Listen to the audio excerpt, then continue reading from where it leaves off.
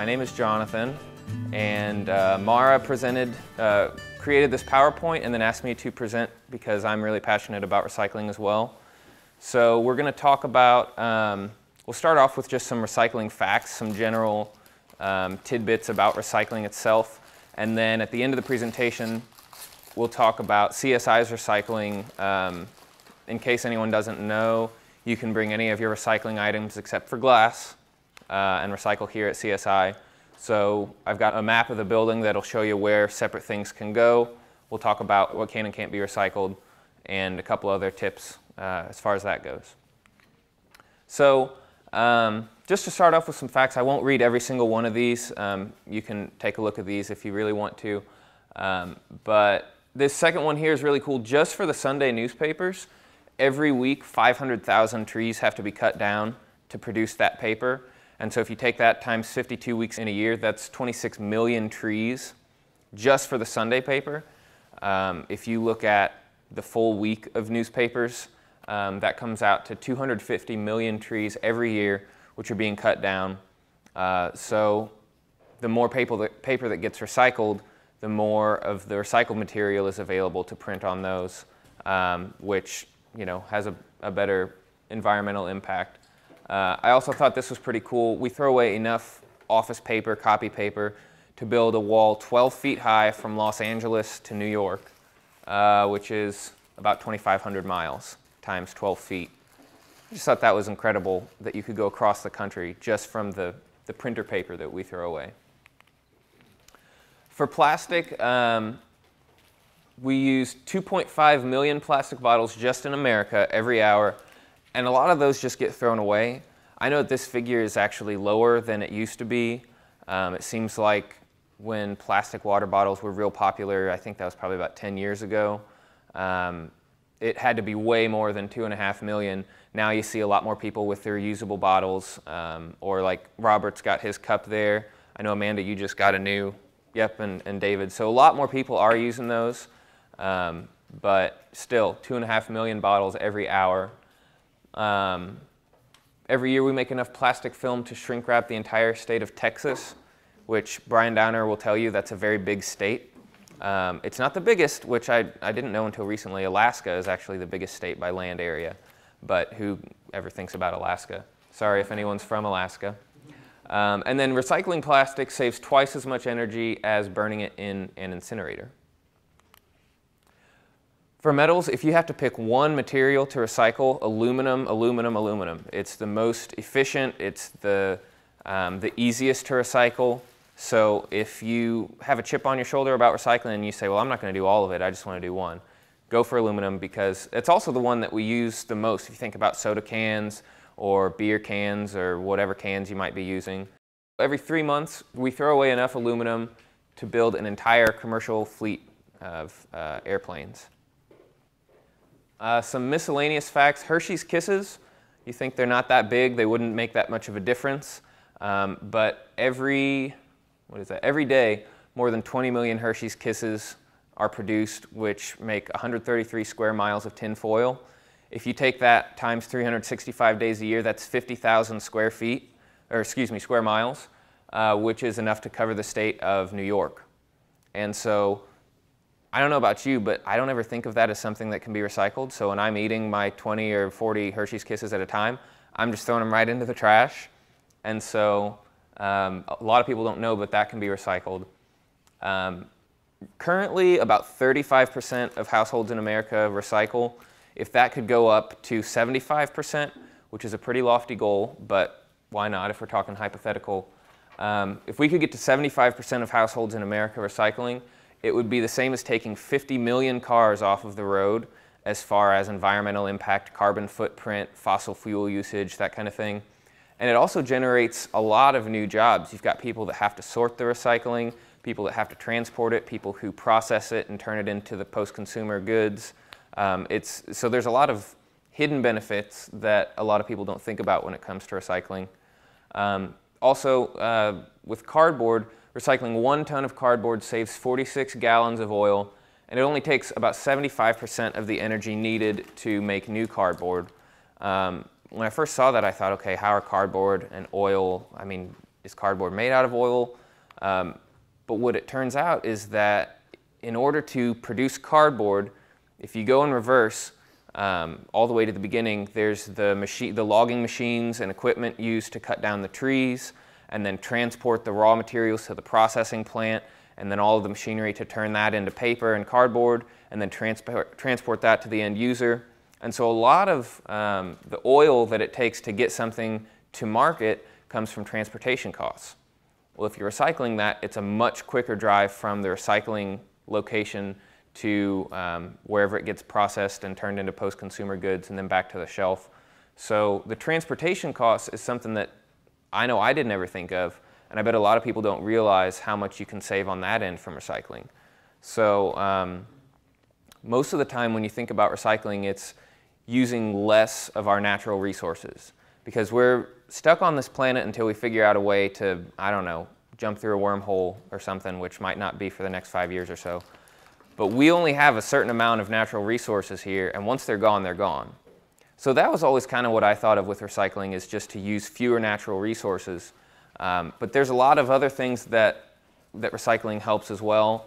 Um, your fossil fuels, um, you know, if you're burning trash, that's polluting the ozone and the atmosphere. Um, so lots of other things that are hidden benefits of that. So I didn't make my text bigger here. So that's talking about the carbon footprint also think about not just where things come from, but where do they end up when you're done with them? They're going to a landfill somewhere. And once those landfills full, you know, get full up, you got to find somewhere else to put that trash. Um, shooting garbage into space is kind of frowned upon. So, um, you know, again, we've got finite resources. We have finite space to put all of our waste. So the more that you recycle, the less you're putting into that landfill uh, the less you're impacting the ecosystem and the habitats and the wildlife that live near those landfills. Um, a lot of people think of recycling and they say, okay, I'm just one person. What's recycling a piece of paper here and there going to do? You know, I'm not really going to have that big of an impact.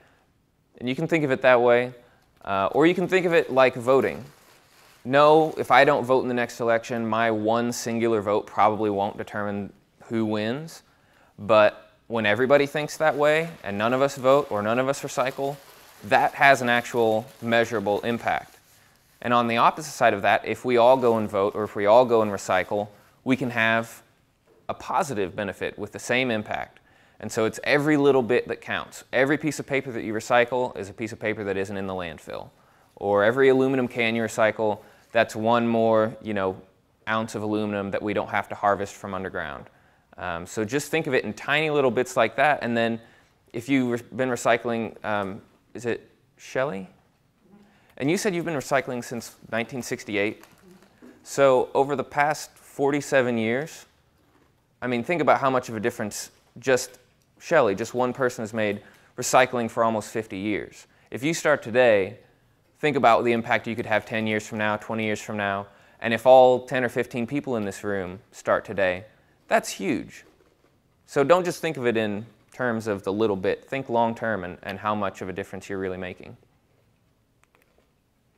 So is all paper recyclable? Um, I thought this was really clever. Mara, I don't know where you found this, but if it tears, it's recyclable.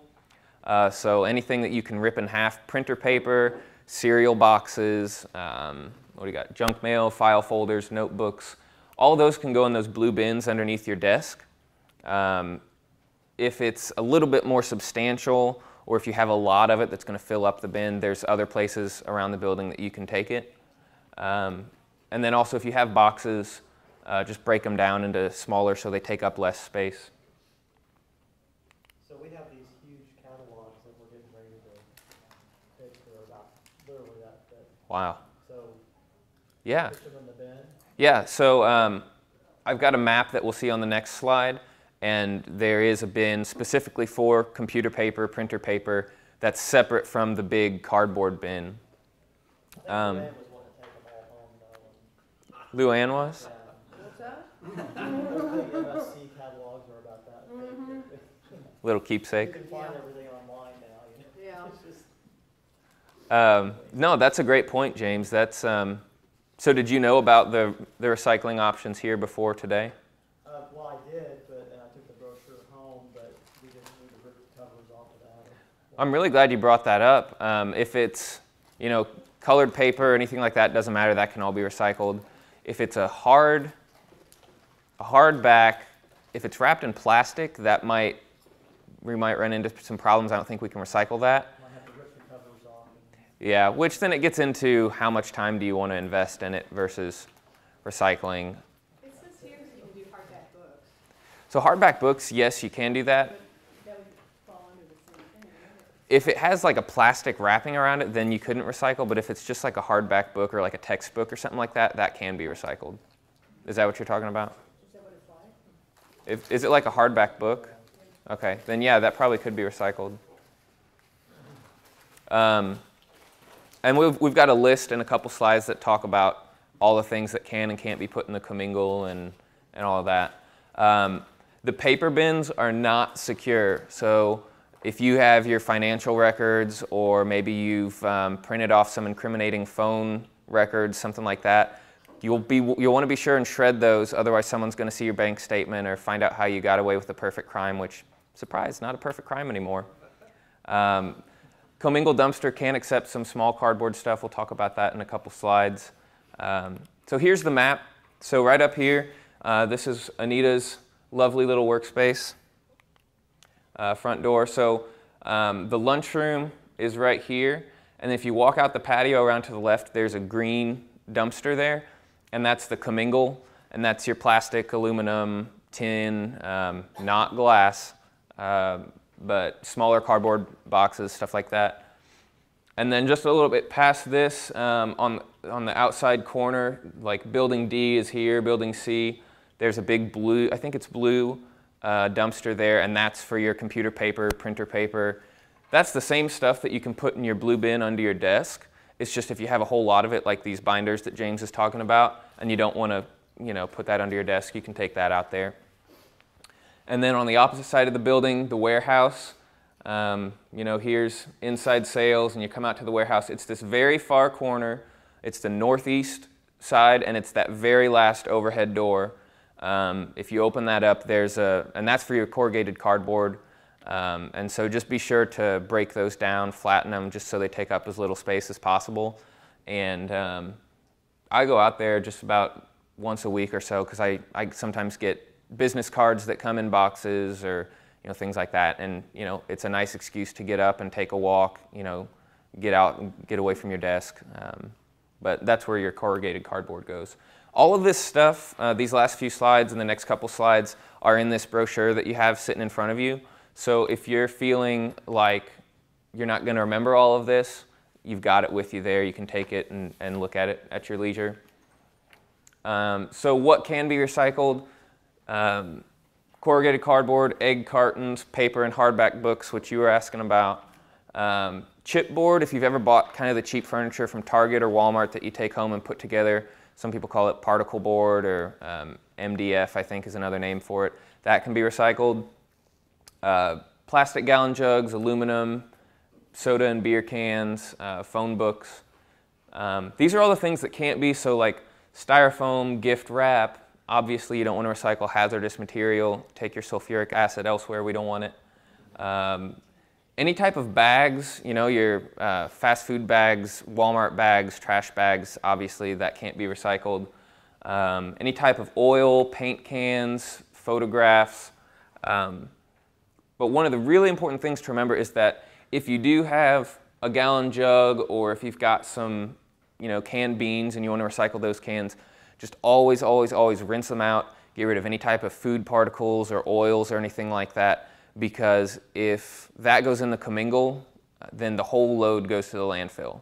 So that green dumpster out there, even if 99% of the stuff in there is cleaned and dried plastic and aluminum and everything, if there's one can in there that has bean juice on it or food residue or anything, then the recycling company says, well, we're not going to take the time to sort that out, and they just take the whole load to the landfill, and then it's all a big waste. So that's the really important thing about the commingle is just to rinse off any and all food particles and residue.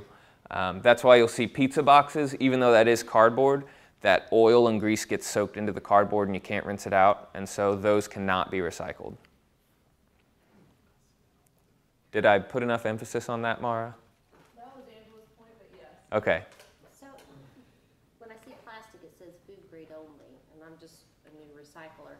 What about like these big uh, liquid Tide containers and things like Mhm. that, that we use our laundry detergent out of? Are those recyclable as long as we wash them out? I Yeah, assume? great question. So on the cover of this brochure, it was also the first slide here. That's a, I traced a Tide can and just got rid of the logo for legal purposes. Um, but yeah, just rinse it out real good. Maybe just a couple rinses, shake it out just until the suds are pretty much gone. Um, it does list, if you open up here at the bottom of the middle page, under plastics, those are all the numbers that it'll accept. I don't know if it goes beyond seven, but one through seven type plastics can be recycled. And those are the little numbers if you've ever looked on the bottom of a plastic container. Where it has like the recycle sign and it's got a number at Exactly. Yep. So they're, I don't know what they mean. I think it's just different compositions of plastic, and they they have different intended uses. Mara's shaking her head yes. The way that they break down also, that kind of gives them a hint, that's why plastic bags can't go in there, they break down so much differently than a soda bottle or Okay. a gallon of milk. So that's why your plastic bags and things can't be recycled. I guess they're a certain type of plastic that doesn't recycle easily.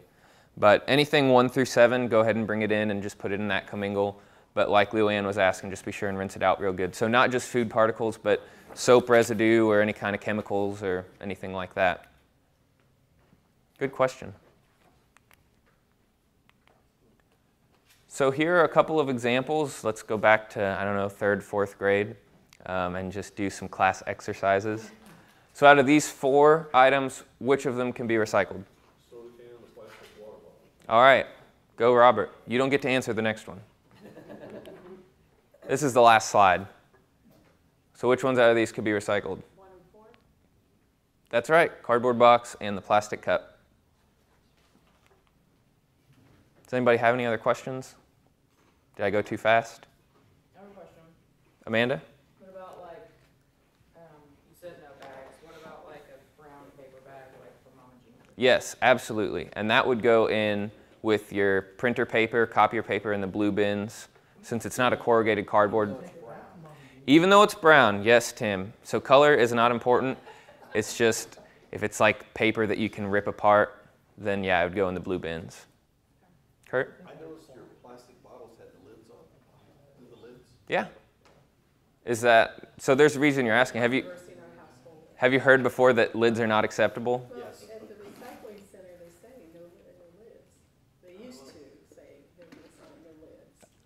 Them.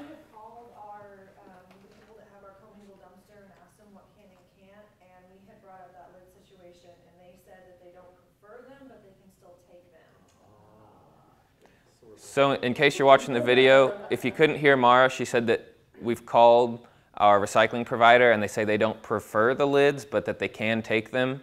So, if that's a deciding factor for you, if taking off the lids is going to keep you from recycling, then go ahead and leave them on and recycle. Better to do that than to just not do it at all. I know that with um, a lot of the plastic bottles with the lids, the lids are made out of a different density, so either more dense or less dense plastic. So then they shred it all up in a big shredder, and then they actually just put it in a big vat of water. And I think the lids float to the top, and then the plastic from the bottle sinks to the bottom, and that's how they can sort it all out really quick. So I think it's just one extra step for them, which is why they prefer not to, but they're still capable of doing that. Great questions. Anyone else? What is it about a hanging file folder that makes it unacceptable? I think it's probably the metal tabs that um, allow it to hang in place. Do you know about that? I know, I just know that that was one specific thing that they were allowed to take. Yeah, yeah, but You pull the metal part out. yeah, everyone's saying you can pull those metal parts out, and so it is one extra step. But then that whole file can be recycled aside from the metal tabs. Amanda was asking me earlier today if staples can be recycled if you've got stapled paper. I don't, I don't know. I don't assume that they're going to throw it away if they're staples because so much paper is stapled. Um, so Amanda was at her desk and she was like trying to pry apart the staple and pull it out. Uh, a lot of times, what I'll do, I'll just rip off that corner of paper and I'll throw away the tiny little corner of paper, which is not that bad, but then the rest can be recycled. And so it's a lot quicker and easier than trying to pull out the staple itself. Most recycling centers have some kind of magnets Oh, do they? to pull it out. So everybody, I don't know if you heard Tim said most recycle centers have high-powered magnets, and those will pull out the staples? I didn't know that. It's, but it's like, I'm, I'm sure that it's like the cats. They'd prefer it if you didn't have them in there. Yeah, Yeah. yeah, that's a good point. But yeah, just ripping off the corner is a lot quicker way to do it. Kurt. I got a question here. You said you could recycle the Hershey wrappers. Mm-hmm. Well, at the, on Lone Pine, they say no aluminum foil. Yeah, no, no, yeah. Yeah. Okay. So I don't know the difference between aluminum foil and Hershey wrappers. Mara, you want to weigh in on this? I would be more than happy to. So the commingle that we have, some commingles will let you place glass in there, they'll let you place other items that we do not. It's because our provider, this is what they do, this is their, they set the rules for us. That's why it's a little bit different probably than what you've heard over the years. So. Okay, so that's the reason for that. it sounds like Yeah, you can throw aluminum cans in there, As long as so it sounds like.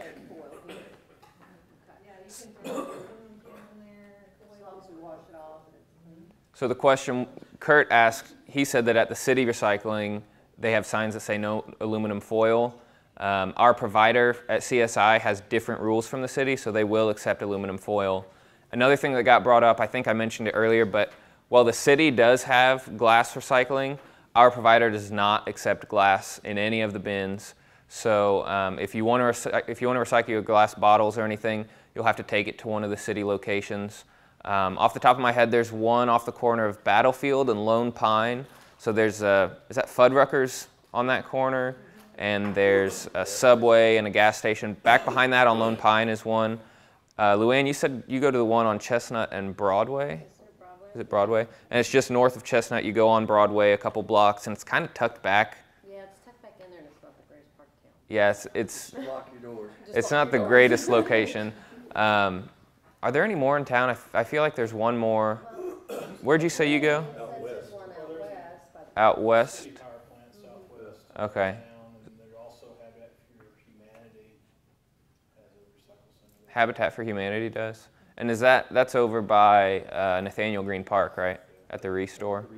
And so that Years, but they used to pay you for your cans at this place that was kind of over by the ballpark. Um, by Hammons Field. Yeah, Oh yeah, that place kind of behind uh, Jordan Valley Park. I haven't heard anybody going here lately, but I mean, I think um, Angela Moller's son. I was talking to her. He'll because I have I've got a water heater that I've got to get rid of, and I think he takes his metal there, and they will pay you for um, big hunks of metal. So that's that's another good. Dixon that does that too. Yeah. The one place, the Habitat Humanity Restore, in case anyone doesn't know, that's on Scenic, which is on the west side of town. If you go on Sunshine past Kansas Expressway and then take a left on Scenic, it's right by Nathanael Greene Park. Um, Horton Smith Golf Course. what was that, Mike? Across the street, across from Horton Smith Golf. From Course. Horton Smith Golf Course across the street from there. So, are those all the recycling centers in town? I th- yeah. Yeah, you can always Google if you're not sure, but um, the Lone Pine one and then the Chestnut and Broadway are probably the two. Um, and it, I always wish that there would be another one kind of in the center of town, or they're they're not the most convenient locations. But if you're on that side of town, you know, just load up your car. They've also got yard waste too, so if you've got big bags of leaves in the fall, you can take those and you can't recycle or you can't put the bags in there, but just rip them open and put your leaves in there. I've done that a few times. Any other questions, Robert? I would add something that may or may not be, uh, everybody's aware of. You're talking about all the recycling stuff. Uh, at least once a year, I think now, now twice a year, the Better Business Bureau has a Saturday where you can come by the Great Southern, uh, their main facility there, uh, on Glenstone, just right there before St. Louis Street. Okay. If you've got any financial documents, any CDs that have, you know, information on them, stuff like that, you can take them there. They usually will promote it and then it'll be on their website too. Mm-hmm. You don't have to do anything. You don't have to pull staples, you don't have to pull plastic. They just, they have these big, huge recycling trucks that are right there. Mhm. You dump them into like a garbage dump and they just throw them right in there, so. So that's Great Southern Bank, and that's on Glenstone and St. Louis, kind of that area. Just south of St. Louis all on the east side. Okay, and so that's that's a big secure document recycling, CDs, stuff like that. Kind of secure. Any kind of secure anything. And how often does that happen? I, I know once a year, and I think they're now doing it twice a year. Okay, once or twice a year, and so they advertise that Yeah. or look on their website. Television radio, but you could go on their website. Okay. That's good to know. Do you have a question? Okay.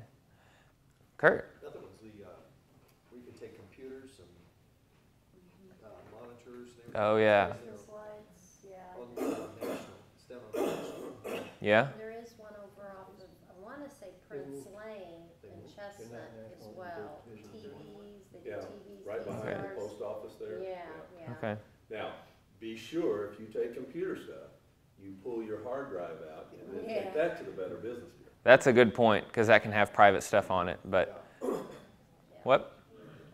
Oh, yeah. So Kurt said that there's a recycling program for electronics, computers, anything like that. And who'd you say does that or where's that located? Mike says it's moved from Berkeley. Oh. Used to be at National Division, but it's no longer there. I don't know where they've moved to. Okay, so that's something to Google it's the one on Right, Chestnut on. Chestnut. on Chestnut Prince and Prince Lane, Right behind the post office there. right behind the post office on Chestnut. actually taken stuff there. Okay, so that's something uh, if you've got electronics to get rid of. And Robert made the good point. If you're going to do that, be sure to take your hard drive out of the computer and then take that to the secure disposal at Great Southern Bank. They also have a great program right after Christmas, if you have bad lights, Christmas lights, which a lot of us usually do, you can take your Christmas lights there too. Christmas lights, I didn't know that. That- see, there's all these things that I never think of can be recycled from Hershey's Kisses to uh, Christmas lights. And so there's a really great documentary I just thought of, um, and it's on Netflix um, Instant Queue if you have that. It's called Manufactured Landscapes. And it's, it's a beautifully shot film. It was shot by a professional photographer. And so, just visually, it's really beautiful to watch. The music, the soundtrack, and everything is really great. Um, but uh, manufactured landscapes, and it shows all of the effects of human waste production, um, from our landfills to um, electronic stuff that gets thrown away. And it's, it's kind of depressing, but in a good way. It's very sobering. It, it really helped me to connect with wow, when I'm throwing something away, this is where it's actually going. And so, um, what made me think of it was when Kurt talked about the electronics.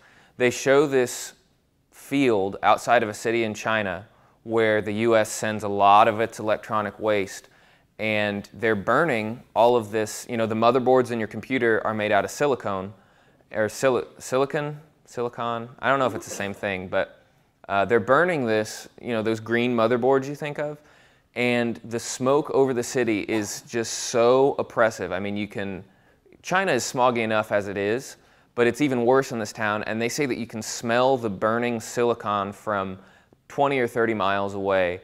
And I mean, it's, it's literally like a football field of just piles and piles of old computers and monitors and hard drives, and it's really disgusting. And um, manufactured landscapes, it's a really great. I don't have any personal interest. I'm not getting any kickbacks from this, but it's a really great documentary and really visually enjoyable to watch. So I'd highly recommend that if you want to learn more about any of this. Can you send me the, is it on YouTube or is it a link or? I don't know if it's on YouTube or not. Um, I'll look into that and then I'll send the link to maybe Mara and she can distribute it out.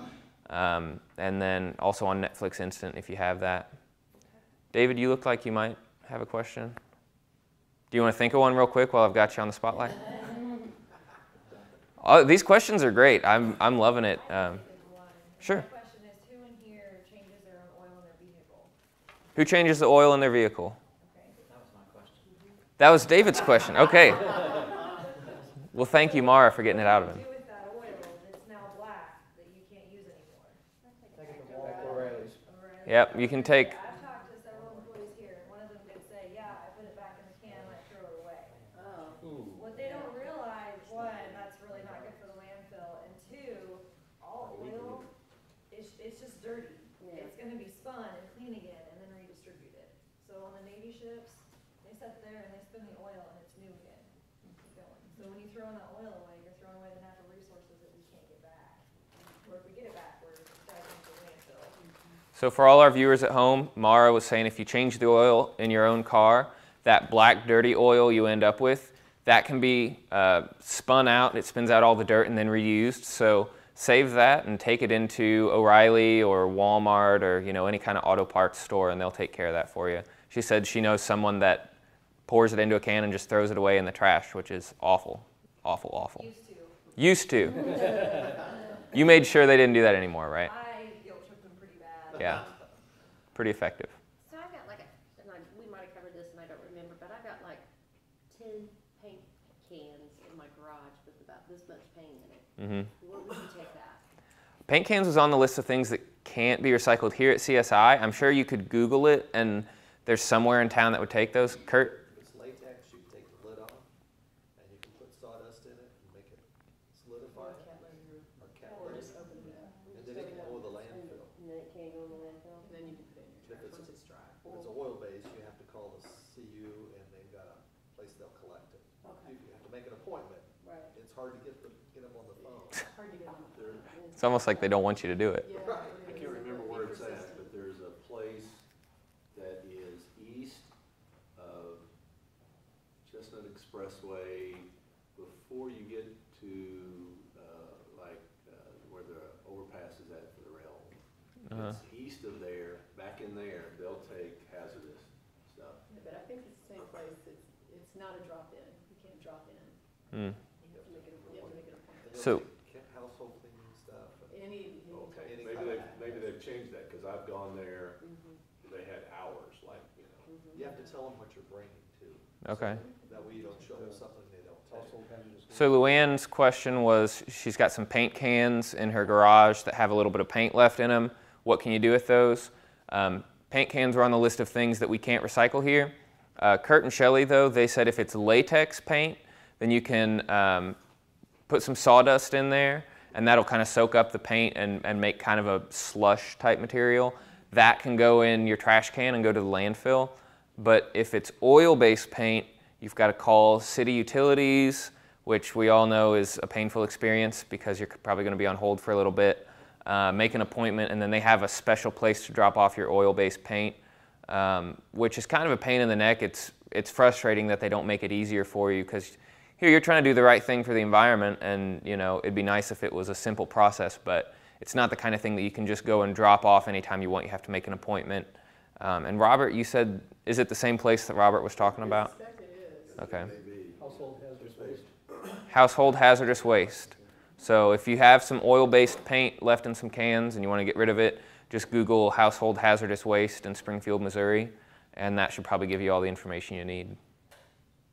Mike. That's probably what I need to do to answer my next question, but uh, what about the compact fluorescent uh, lamps, the new curly, what replace the incandescent light bulbs? Best thing to do with those is uh, the, the compact fluorescent lamps, the curly lamps or, or twisty lamps.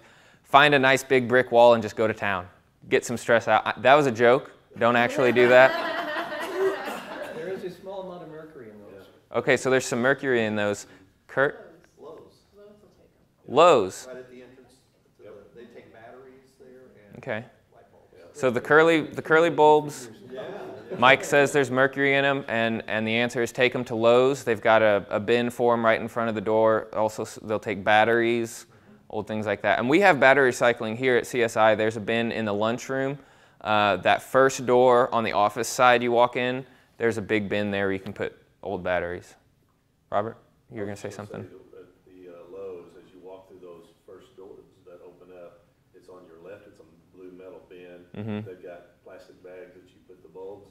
in, Yep. tie it up, and you drop it in this slot. Okay. Speaking of plastic bags, if you do want to recycle your, your old Target bags or Walmart bags, you know, those plastic bags you see everywhere, we don't take them here, but I know Target at least, right, in fr- right inside the front door of Target, they have a big bin where you can stuff those in and they recycle those. Walmart does too. Walmart has them as well, Price so Cutter, Price Cutter. Yeah, most of the grocery stores and the mm-hmm. stores are all. Okay, so those plastic They're bags.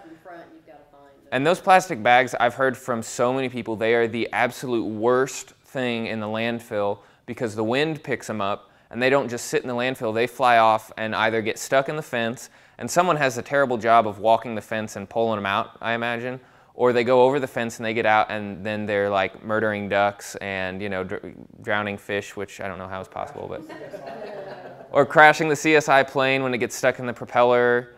You know, so the plastic bags are awful. So take them to Target or Walmart or whatever and, and put them in those in those bins. kinda like that plastic bottle commercial, and he wants to be by the beach. I haven't seen that. Yeah, it's a cute little commercial. So this plastic bottle, it shows him rolling down the sidewalk and then down the highway and going through the forest and then someone finally picks him up, and puts him in a recycle bin and he ends up being made into a park bench that's by the beach. Oh, Oregon City, Ocean.